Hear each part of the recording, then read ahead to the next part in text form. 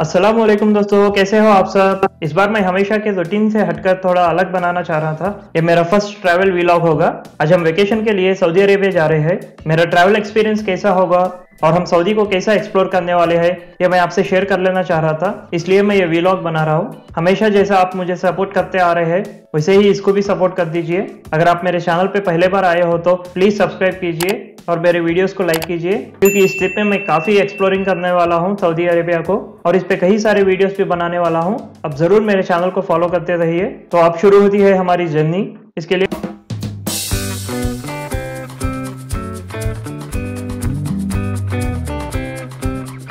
मैं पहले हैदराबाद एयरपोर्ट पे आ गया हूँ और यहाँ से हम जाएँगे दमम। ये इंडिगो की फ़्लाइट है डायरेक्टली। आपको तो मालूम ही है, हमेशा क्राउडेड रहती है ये। यहाँ पे घंटों की इंतज़ार करने के बाद फ़्लाइट में चढ़ गए। ये actually four hours five minutes की जर्नी है और अपनी फ़्लाइट है नाइट टाइम तो बाहर क्या हो रहा है, कुछ भी पता नहीं चलेगा। बस कभी कभी ऐसे लाइट्स दिखते जा रहे हैं। एक्चुअली हम सी के ऊपर से जा रहे हैं। जो आपको लाइट्स दिख रहे हैं, वो कुछ सिटी है। तो अब हम पहुँच गए हैं Dammam King Fahd International Airport ये काफ़ी बड़ा एयरपोर्ट है। सारे इमिग्रेशन चेक्स के बाद हम यहाँ पहुँच गए हैं। यहाँ पे एक अच्छी बात यह है कि यहाँ पे जो पब्लिक दिख रही है, यहाँ तक विजिटर्स आ सकते हैं, बिना कोई परमिशन या बिना कोई टिकट के। कोई भी अपने रिलेटिव हमें रिसीव कर लेने के लिए यहाँ तक आ सकते हैं। अभी जो दिख रहा है अलबाइक जो सऊदी का one of the best restaurant Albaik is famous for just fish nuggets भाई, मैं ऐसा सुन के हूँ कि इसका मज़ा काफ़ी अच्छा रहता है। वो भी हम जल्दी ही ट्राई करेंगे। और दमाम के एयरपोर्ट में वॉशरूम्स ऐसे रहते हैं, जिसमें अलग से एक वज़ू खाना भी रहता है। और अब एयरपोर्ट से बाहर आने के बाद, यहाँ पे जो दिख रहे हैं आपको, ये सारे टैक्सी स्टैंड है। यहाँ पे टैक्सीज यही कलर में ग्रीन कलर में रहते हैं। और काफ़ी खूबसूरत भी दिख रहे हैं। ज़्यादातर टोयोटा कैमरी या कोरोला ऑल्टिस के कार्स टैक्सी के लिए यूज़ कर रहे हैं यहाँ पे। और ये जो बड़ी वाली मस्जिद दिख रही है, ये एयरपोर्ट के कंपाउंड के अंदर ही होती है। काफ़ी बड़ी मस्जिद है ये। और अब हम एक्चुअली दमाम से अलजुबैल सिटी को निकलते हैं। अलजुबैल एक इंडस्ट्रियल सिटी है। World second largest industrial city है। और यहाँ से मेरे जीजू आ गए मुझे लेने। और अब हम निकल गए हैं जुबैल के लिए। तमाम टू जुबैल ऑलमोस्ट ऐसे ही जाता है रोड दोनों तरफ़ थ्री लेन रोड मगर कुछ भी आपको ज़्यादा नहीं दिखेगा, क्योंकि ज़्यादा तक एम्प्टी प्लेस ही है। बीच में कभी कभी थोड़े छोटे मोटे टाउन्स दिखेंगे। Dammam to Jubail almost 100 kilometres का रास्ता है। ये लेस देन वन आवर में हम पहुँच जाएँगे। पूरा रास्ता आपको सेंट्रल लाइटिंग दिखेगा। तो अब हम पहुँच गए हैं जुबैल सिटी एक्चुअली ये मेरा फ़र्स्ट टाइम है अब्रॉड ट्रैवल करना तो मैं काफ़ी एक्साइटेड हूँ। यहाँ पे ज़्यादा तक हाई स्टोरी बिल्डिंग्स तो आपको नहीं दिखेंगे, क्योंकि ऑलमोस्ट जगह तो काफ़ी बड़ा है तो इनको मल्टी स्टोरी बिल्डिंग बनाने की ज़रूरी ही नहीं। एट मैक्स आपको फोर फ्लोर्स के बिल्डिंग्स दिखेंगे। यहाँ पे सारे ब्रांड्स के सुपरमार्केट्स आपको दिखेंगे, जैसे कि पांडा लुलू सब कुछ। ये जो आपको दिख रहा है, ये है जुबैल माल ये यहाँ का बहुत बड़ा माल है, और एक तरह से बोल सकते हैं, एक प्रीमियम माल भी है। क्योंकि ज़्यादा तक आपको इसमें प्रीमियम ब्रांड से दिखेंगे। इसको भी हम एक्सप्लोर करेंगे। तो हम रात में घर पहुँच चुके हैं। दोस्तों, अब सुबह हो चुकी है। अब सिटी एक्सप्लोर करने के लिए मैं अब स्टार्ट हो जाऊँगा। ये मेरे घर के सामने वाली मस्जिद है। अंदर काफ़ी ब्यूटीफुल है। इस एरिया को कहते हैं सिटी का सेंटर पॉइंट यहाँ पे सिटी में भी रोड्स काफ़ी वाइड है। जैसे अपने पास गलियाँ रहते हैं, वैसे गलियाँ भी डबल लेन रोड काफ़ी चौड़ा है। रोड के दोनों साइड भी आपको चलने के लिए काफ़ी वाइड फुटपाथ होता है और सेंटर में डिवाइडर और उस और उसके साथ दोनों साइड भी आपको कार पार्किंग भी मिलता है रोड्स पे। यहाँ पे आप देख सकते हो, जैसा कार पार्किंग करे है। रोड के दोनों तरफ़ भी आप कार पार्किंग कर ले सकते हो। कहीं जगह आपको पार्किंग फ्री मिलेगा। कहीं जगह आप पेमेंट करके पार्किंग करना पड़ेगा। पार्किंग के अलावा भी आपको दोनों साइड भी टू लेन्स का रोड दिखेगा सिटी में। यहाँ पे ज़्यादा तक शॉप्स ट्वेल्व के बाद खुलते हैं, क्योंकि ट्वेल्व तक यहाँ पे जोहर की नमाज़ हो जाती है। उसके बाद शॉप्स खुलते हैं। तो मैं ऐसे ही आपको दिखाने के लिए एक्सप्लोर करने निकल गया हूँ। ज़्यादा तक शॉप्स तो अभी बंद है। यहाँ पे ग्रोसरी स्टोर को बखाला कहते हैं। ये जो आगे ब्लू बिल्डिंग दिख रही है, ये है शिफाल जुबैल हॉस्पिटल ये है वाटर कैन सप्लाई की वैन जैसा इंडिया में रखते हैं, वैसे ही यहाँ पे भी कैंस ला के अपने अपार्टमेंट के सामने रख के चले जाते ये एरिया ज़्यादा एक्सपर्ट्स रहने का एरिया है। लोकल सऊदीज बहुत कम रहते हैं। लोकल सऊदीज रहने का एरिया वो अलग है। वो काफ़ी पॉश एरिया रहता है। उसको भी मैं आपको दिखाऊँगा। इवन यहाँ एक्सपर्ट्स रहते तो भी एरियाज़ काफ़ी नीट मेंटेन करते हैं यहाँ की गवर्नमेंट और रोड्स भी काफ़ी क्लीन रहते हैं। यहाँ पे रोड्स पे आपको कैट्स डग डग पे दिखेंगे। यहाँ पे लोग भी बहुत प्यार से इनको पालते हैं। अब ये जो आप लेफ़्ट साइड और राइट साइड में देख रहे हैं, ये है यूज्ड फर्नीचर मार्केट मतलब आपको सेकंड्स में आपको काफ़ी अच्छा फर्नीचर मिलेगा, क्योंकि ज़्यादातर सऊदीज जो लोकल्स रहते हैं, वो लोग नया furniture every two years three years में एक बार लेते हैं जो भी उनका ओल्ड फर्नीचर रहता है, वो लोग ये यूज़ फर्नीचर मार्केट में बेच देते हैं। और यहाँ पे जो भी एक्सपर्ट्स रहने आते हैं, जैसे कि इंडियंस बांग्लादेशी पाकिस्तानी ये सब नया फर्नीचर महँगा रहने की वजह से ये यूज़ फर्नीचर खरीद लेते हैं। यहाँ पे आपको किया के पिकअप ट्रक्स भी दिखेंगे। एक्चुअली इंडिया में अभी तक किया के पिकअप ट्रक्स या कमर्शियल व्हीकल्स नहीं आए मगर यहाँ पे आपको ज़्यादा तक पिकअप ट्रक्स पूरे किया के ही दिखेंगे। जैसे अपने पास टाटा एस या महिंद्रा की गाड़ियाँ दिखते, वैसे ही यहाँ पे किया के पिकअप ट्रक्स है। यहाँ पे आपको यूज़ फर्नीचर के साथ साथ यूज़ इलेक्ट्रॉनिक्स भी दिखेंगे, जैसे कि रेफ्रिजरेटर्स एसीस ये भी खरीद ले सकते हो आप। ये इसुजू के कार्गो वैंस है।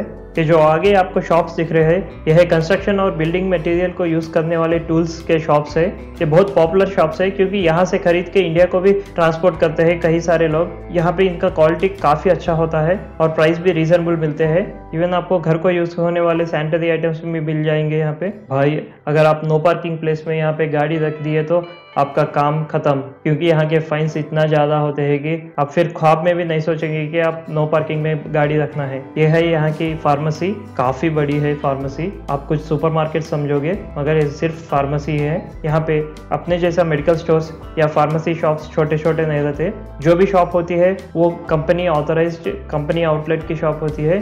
ब्रांड की शॉप होती है। सिर्फ़ वो ब्रांड ही प्रोडक्ट्स को बेचेगी मेडिसिन को बेचेगी।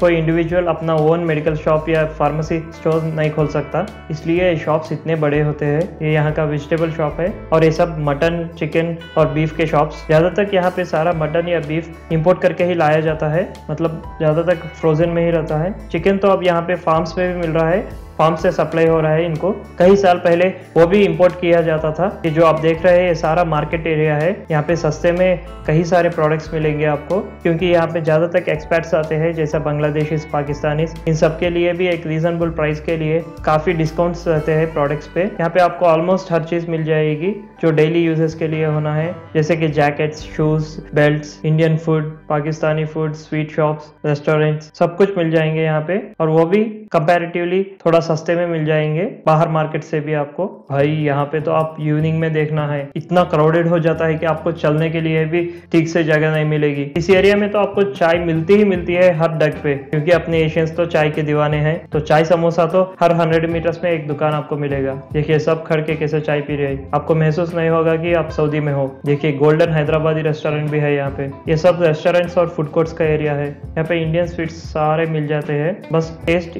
इतना अच्छा नहीं रहता जितना अपने पास रहता है। तो अब हम आगे है रुमान रेस्टोरेंट, जो यहाँ का फ़ेमस बिरयानी रेस्टोरेंट है। और फ्राइडे के दिन, माशाल्लाह, इतनी अच्छी बिरयानी मिलती है यहाँ पे।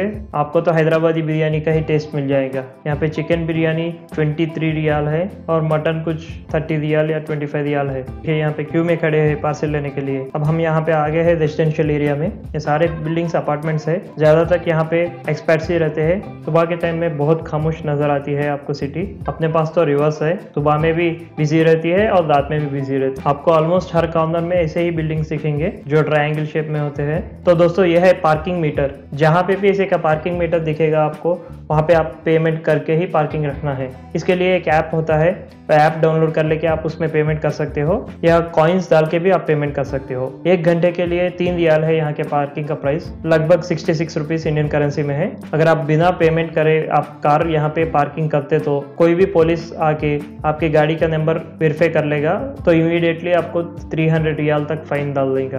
तो दोस्तों, अब हम कार में भी थोड़ा बहुत एक्सप्लोर कर लेंगे। आपको थोड़ा बहुत सिटी का नज़ारा भी दिखाऊँगा। यहाँ पे सिटी के अंदर भी आपको काफ़ी ओपन प्लेस दिखेगा। यहाँ पे भी जल्दी ही कंस्ट्रक्शन आने वाले हैं और यहाँ पे कुछ रोड वर्क भी चल रहा है। और ये फनातीन एरिया जाने का रोड है, जहाँ पे लोकल सऊदीस रहते हैं और ऑफिशियल गवर्नमेंट बिल्डिंग्स रहती है और सारा पॉश शॉपिंग एरिया और कॉस्टली रेस्टोरेंट्स शानदार मस्जिद, सब कुछ यही एरिया में मिलेंगे। और आप रोड को भी देख सकते हो, दोनों तरफ़ ग्रीनरी से भर के रहता है। आपको महसूस नहीं होगा कि आप सऊदी में हो।